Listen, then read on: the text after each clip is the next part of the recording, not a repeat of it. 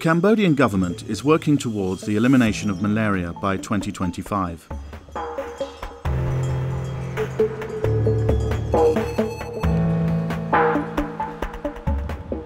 In Pailin, on the Cambodian border with Thailand, a new form of malaria parasite has recently been discovered that is resistant to the common first-line treatment, artemisinin, and is on the move. Migration in the Mekong region is increasing due to economic development, with many people travelling for employment. Correspondingly, there's been a rise in malaria cases among these mobile workers who are crossing the border every day. We face that this group of people who migrate and move from place to another might be carry parasite resistance to the other country as well. Working with the Cambodian National Malaria Control Programme, Malaria Consortium has set up three border crossing posts to ask migrants to volunteer for malaria testing and to learn more about the spread of the disease. One of these posts is on the Cambodia-Thailand border in Pailin. The mobile and migrant population, it really and very difficult for us, very hard for us to reach. An estimated 100,000 migrant workers cross the Thai-Cambodian border every year in search of work and could be spreading the disease undetected. In Pailin, this is being tackled in a number of ways. We have to set up our place that very close to the border, that where they are close every day, and then we have to interview them and we do the uh, RDT test. We try to get them to, to screen them. If they have the parasite or malaria, we have to provide the treatment immediately. The challenge in containing this parasite is that many carriers don't display any physical symptoms. Normally, those who have symptomatic, they can go to see the um, the doctor or the health facility already. But for us, we are focusing to the asymptomatics. They have no sign and symptom, they don't have any fever at all. But they can, might, uh, some of them might carry the malaria parasite inside the blood.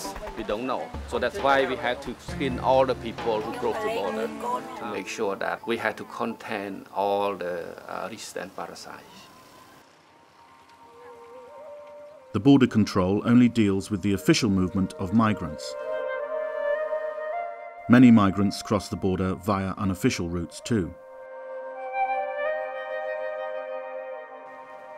So here um, a river along the Thai and Cambodia border that where is normally is migrant people and who cross the border and to look for a job in Thailand. And it's no bridge, they just swim and then get across the river and to Thailand. Then our field assistant, our team is here and they are screening the border crosser when they come back um, from Thailand in the evening. Many have reported that it takes longer to recover from the disease, as this new strain of Plasmodium falciparum is showing increasing resistance to the treatment they currently take.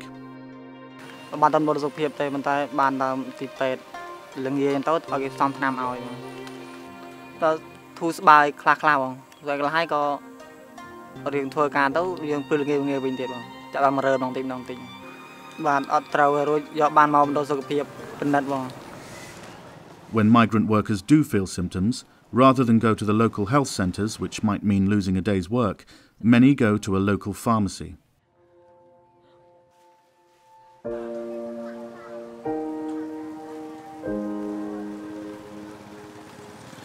Malaria Consortium has been piloting an SMS project as a way of collaborating with local pharmacies to keep tabs on the numbers and movement of malaria cases.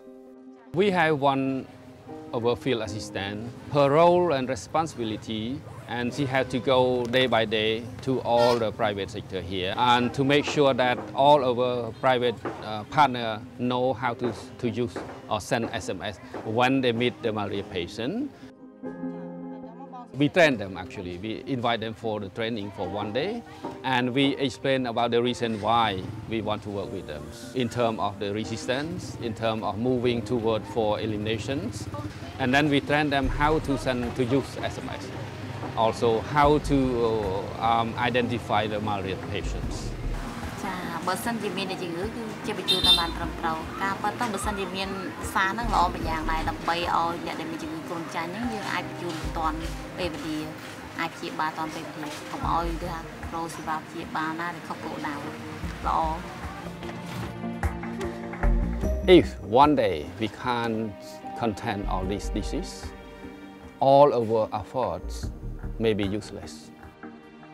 The parasite can spread to one country to another country, maybe from one continent to another continent, let's say from Asia to Africa.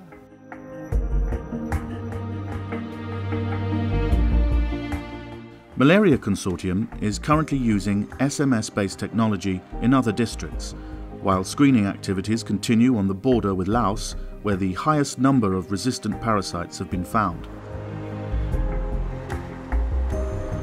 It is essential that governments, donors and practitioners come together to extend this vital work to other towns along the Thai and Lao borders with Cambodia.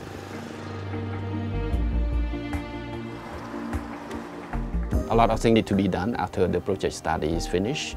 We hope to continue to, to scale up our project to the other area as well. We have many places that we need to do as well.